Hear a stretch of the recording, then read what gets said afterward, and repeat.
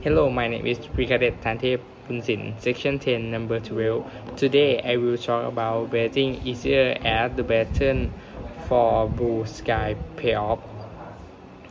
A decade and a half after Thailand began a pattern for better air quality, Bangkok has emerged as a role model for pollution show capital in Asia with considerably cleaner air than Beijing, Jakarta, New Delhi, and Shanghai, according to Thomas Fuller of the New York Times.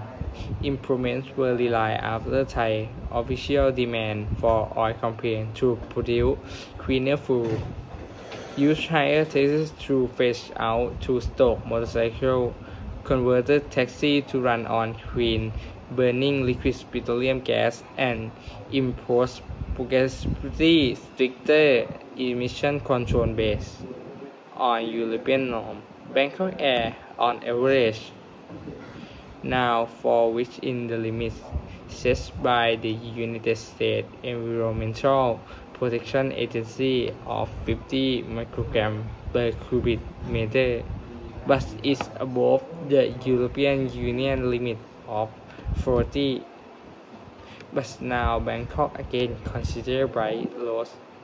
The Bangkok Metropolitan Administration is planning to build more bicycle trails to promote riding bike and other environmentally friendly vehicles as a part of campaign to help fight global warming. Bangkok Governor Apirak Kosakit Yotin says Thursday that City Hall would build a map more bicycle roads to promote eh, energy conservation, exercise, and visit to, to tourist sites along the bike trail. The BMA also plans to boost the number of bicycle parking lots at SkyTrain and subway stations to encourage the public to use the mass transit system